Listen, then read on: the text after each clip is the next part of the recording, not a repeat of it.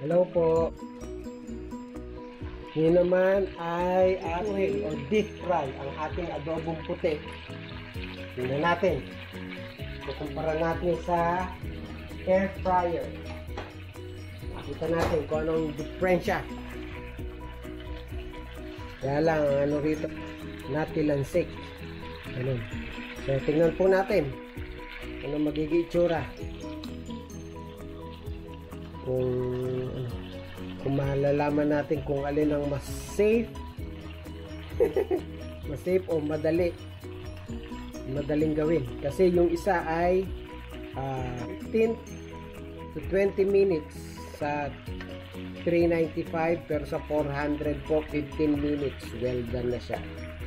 Although luto na to parang gagawin lang po natin siyang crispy. Crispy adobong tuyo dito kami nasanay sa crispy adobong tuyo.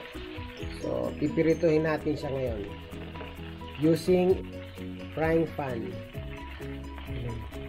Sa tagal na, na naimbak nito, sigurado ako nanuot na ang kanyang lasa. So, pipirituhin ko muna po.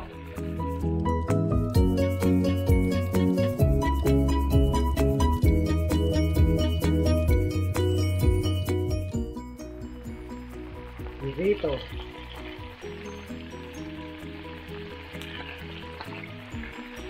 Ito, i-ready natin ang ating pang-depensa para hindi tayo matalinsikan. Ito pong takip.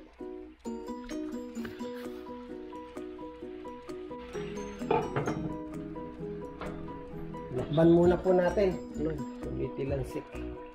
Tumitilansik pa rin. Kaya lang. At least ito nakukulog pa.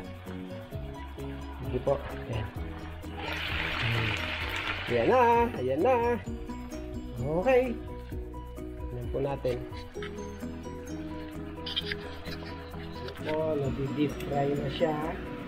So, gagawin ko po, sasabayin natin ang air fryer sa bamoy. You can see po, sabay-sabay ko nang niluto. Tingnan natin. So, nag-start na siya. Pumula. Palulutungin na lang. Lang, nakakatakot tanggalan ng takip. Ayan po. Okay. Yung putok pa eh. So, maya-maya. Tingnan natin. Ito po ang naluto. Ayan po ang aking adobo na crispy. Ayan po. Yung sa kanan po ay galing sa fryer. Yung sa kaliwa po ay deep fry. Tingnan natin ngayon kung crunchy sila pareho. Pakinggan natin ha. Ito, ito na lang. Ito. Tingnan natin.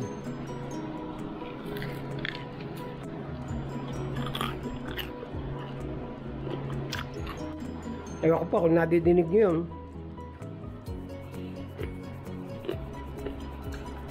Ito naman po yung sa deep fry. Mm -hmm.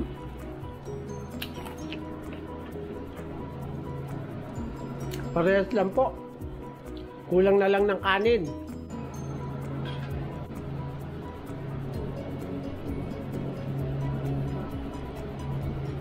Yung sa kaliwa po ay yung deep fry.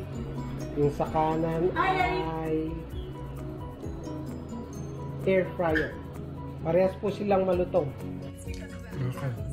Yan.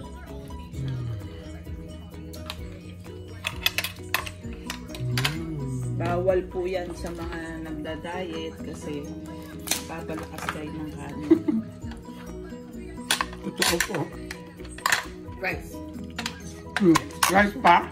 Mm. Adobo with ano, nilagang kamatis. Ayos na po. Ang hapunan. And that's it. Map. With fish. Mm. Adobo ulit. Mm.